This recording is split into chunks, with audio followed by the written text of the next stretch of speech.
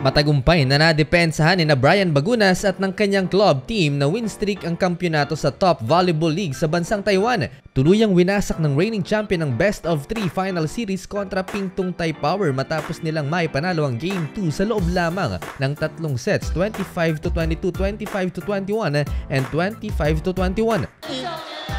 Kumamada ng labing anim na punto si Brian Bagunas habang leading scorer naman nila ang Cambodian import na si Vesna. So matotal nakapagtala ng 536 points ang ating kababayan mula regular round hanggang finals bukod sa back-to-back championship. Number 1 scorer din si Brian for two consecutive season. For the past 2 years, sobrang laki na ng naiambag ni Brian sa nooy newly formed team na win streak. Sa tulong rin ni Brian Bagunas natapos ang pitong taong paghahari ng powerhouse team na Pingtong Tai Power.